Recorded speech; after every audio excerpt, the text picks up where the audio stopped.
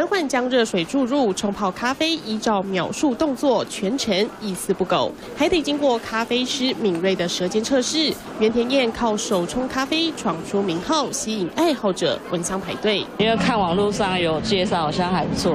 朋友说要来喝，目前是星巴克，主打高端精品，和星巴克客群有点相似。不过原田燕主打精致手冲，星巴克则以贴心客制化闻名。但看准台湾人爱喝咖啡，年底还有蓝瓶加入战局。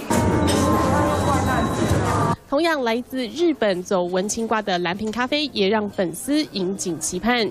越来越多异国品牌进驻，台湾本土企业即使不走高端路线，仍是倍感威胁。积极开发外送市场，利用结合 APP 的方式去做一个外送。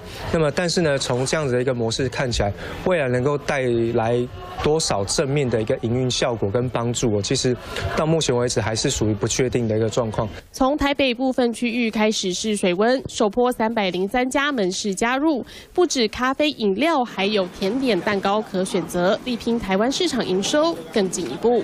三立新闻福克现场会特别报道。